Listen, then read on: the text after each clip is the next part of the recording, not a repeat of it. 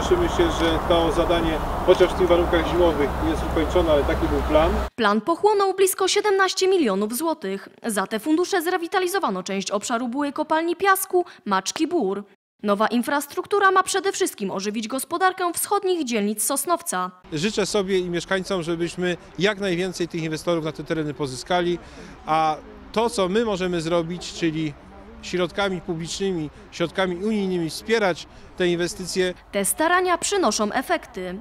Pojawiły się już tutaj firmy z branży stalowej i logistycznej. Najpierw jednak od lutego do listopada ubiegłego roku trwały przygotowania działek dla potencjalnych inwestorów. Pierwszym etapem było wybudowanie przede wszystkim kolektorów sanitarnych, kolektorów deszczowych, przejście do odbiorników, czyli do y, potoku Bobrek, do kolektora Bobrek, wybudowanie potem mostu na y, rzece Bobrek, który połączył ulicę Kujawską z inwestycyjną. Dzięki temu mieszkańcy tej części miasta mogą spać spokojnie. Cały transport odbywał się od S1 przez dzielnicę. Pierwsza inwestycja, która była droga dojazdowa dla samochodów ciężarowych, ociążyła ulicę Długą i całą Niwkę z tego transportu.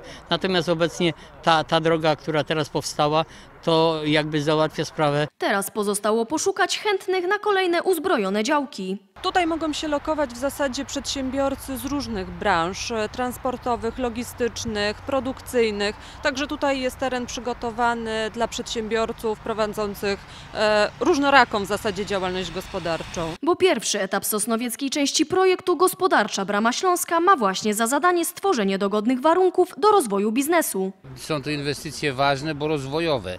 Y, Ta inwestycja, przypomnę, że również realizowaliśmy y, zadania na y, Sosnowieckim Parku Naukowo-Technologicznym. Miejmy nadzieję, że zarówno Park Naukowo-Technologiczny, jak i strefa na Maczkach w przyszłości będą generować powstawanie nowych miejsc pracy.